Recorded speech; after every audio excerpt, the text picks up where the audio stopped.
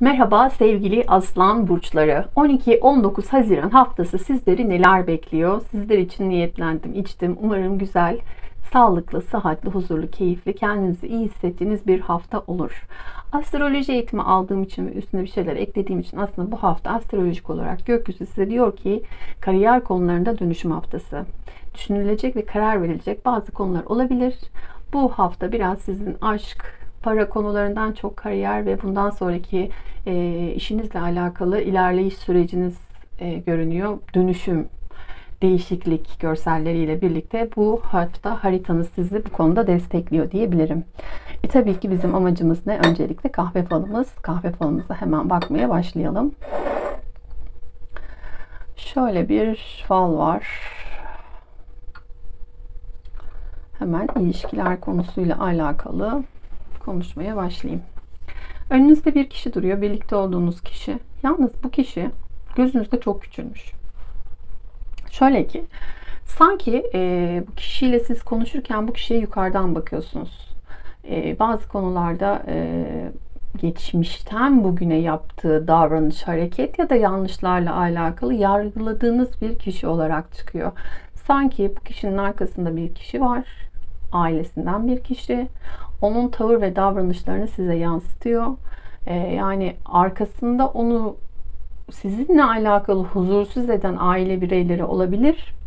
Bunlarla alakalı konuşmalarla size geldiği zaman sizin sinirlendiğiniz bir görsel var. Burada aslında pazartesi değil ama salı günü bu konularla alakalı bir çatışma yaşanabilir. Sizin böyle yukarıdan baktığınız bu bilinmez konu yani aslında çok havada bir konuşma olduğu için siz bunun için beni huzursuz mu ediyorsun der gibi bir çıkış halinde görünüyorsunuz.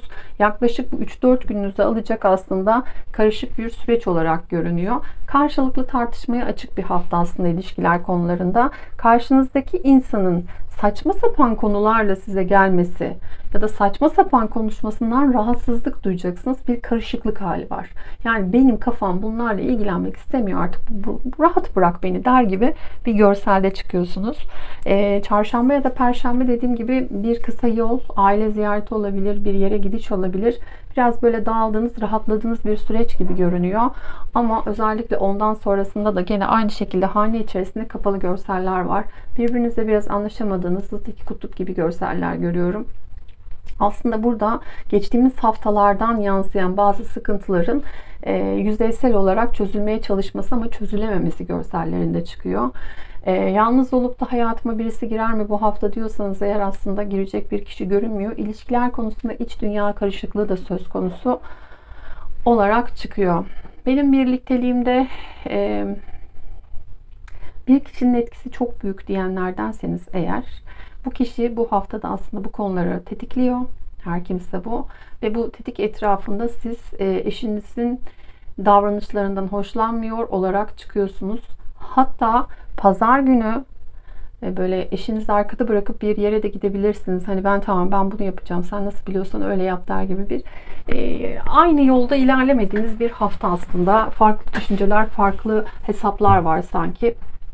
O yüzden de bu hafta ilişkiler konusunda nasıl diyelim, nasıl bir olumlama yapalım? Güzel olan her şey sizi bulsun.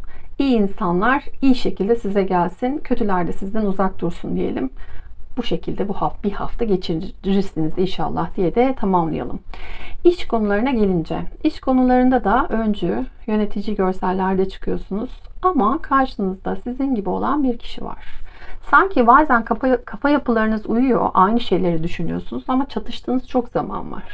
Bu kişiyle salı günü gene bir sürtüşme hali olabilir.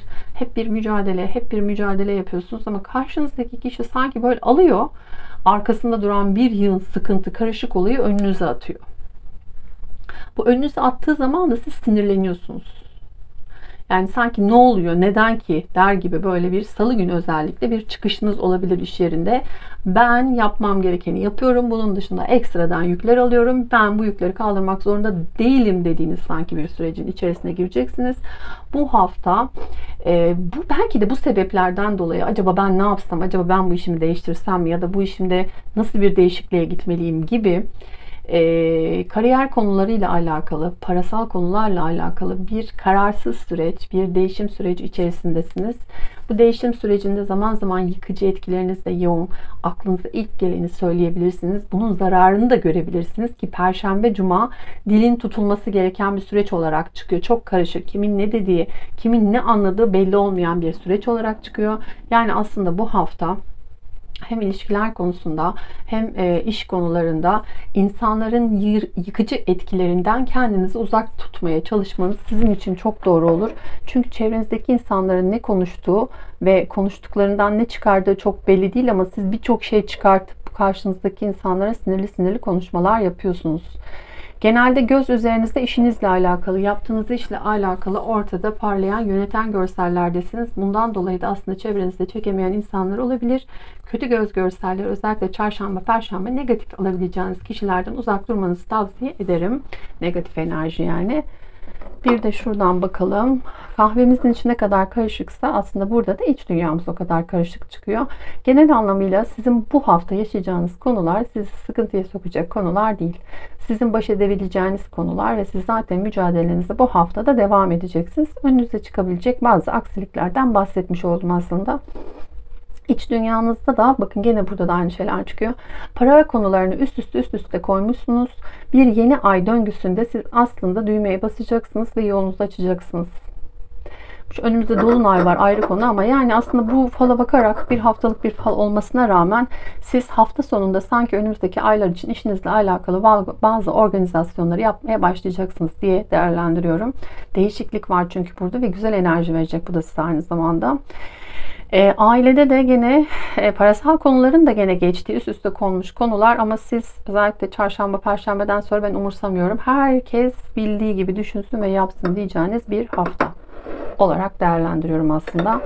E, hızlı geçecek bir hafta sizin için çünkü insanların tavır, tavır ve davranışlarını da biraz analiz, analiz edip e, onlarla alakalı da e, değişim beklentisi içinde olabilirsiniz. Siz bir şeylerin artık değişmesi gerektiğine karar vermişsiniz. Bu hafta da aslında adım atacaksınız diye değerlendiriyorum ben bunu. Düşünerek e, kararlar vereceğiniz, biraz zamanla yayacağınız bir haftanın başlangıcı da olabilir, olabilir bu aynı şekilde. E, duygusal anlamda da biraz e, üzerinizde bir ağırlık söz konusu da olabilir. Bu ağırlık aslında şöyle... Hmm, hani dışarıya yansıttığınızda içinizin aslında bir olmadığı çıkıyor falınızda. Dışarıya zaman zaman agresif e, tavrını belli eden bir karakter olarak çıkıyorsunuz ama iç dünyanızda hani bitmiş olan bir olayı bile uzun bir süre takılıp e, bu konuyla alakalı duygusal e, pozitif düşünmeye de çalışan bir görselde çıkıyorsunuz bu hafta değişik ve karışık bir hafta olduğunu kabul ediyorum. Süreç olarak en azından 7 gün olması sizin için avantaj. Ondan sonrası için de aslında yapacağınız değişikliklerin hayatınızda aydınlanmaya sebep olacağını düşünüyorum. Bu da güzel bir gelişme sizin adınıza. Bu haftalık aslında falımız bu kadar. Beni dinlediğiniz için çok teşekkür ederim. Bir dahaki falımızda görüşmek üzere. Hoşçakalın.